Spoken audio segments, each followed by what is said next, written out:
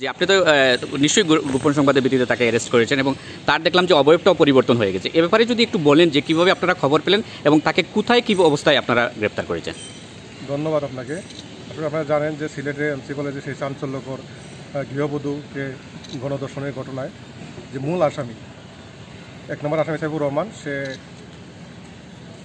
আত্মগোপন করার জন্য এবং ভারতে পালিয়ে যাওয়ার জন্য সে আমাদের ছাতক হলো নোয়ারাই খেয়াঘাট খেয়াঘাট হয়ে সে চলে যাওয়ার চেষ্টা করলে সেটা আমরা গোপন সংবাদের ভিত্তিতে ডিআইজি সিলেট রেঞ্জের মান্যবর ডিআইজি মহোদয় সহ সুনামগঞ্জ জেলার পুলিশ সুপার মহোদয়ের দিক নির্দেশনায় আমাদের ছাত্রক সার্কেলের সিনিয়র সহকারী পুলিশ সুপার জনাব বিল্লাল হোসেন স্যারের নেতৃত্বে অফিসার ইনচার্জ স্যার এবং আমরা সহ একটা টিম তাৎক্ষণিক ভোর সাড়ে সাতটার দিকে তাকে গ্রেপ্তার করতে সক্ষম হই।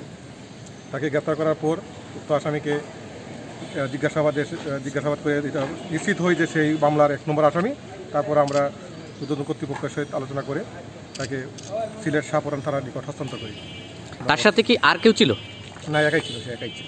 আমরা দেখতে পেয়েছি যে তার যে মূল অবয়বটা ছিল এটা বোধহয় সে পরিবর্তন করে হ্যাঁ ফেলছে। জি জি সেই ঘটনার পরে সে ওই তাদের দাড়ি ছিল সেটা সে কেটে ফেলে যাতে তাকে না ধরা যায়। ধন্যবাদ। এই মুহূর্তে এই ঘটনায় আপনাদের আর কোনো চলমান অভিযান আছে কিনা? যেহেতু সে এদিকে গেছে তার যারা জড়িত আছে সেগুলো আসামি যদি আমাদের সাতক এলাকায় যে কোথাও আত্মগোপন করে থাকে অবশ্যই আমরা সে তাকে গ্রেপ্তার করে আইনের আওতায় নিয়ে আসব আপনার নাম আর পদবিটা আমি second officer S I Mohammad Habibur Rahman PPM Chhatak থানা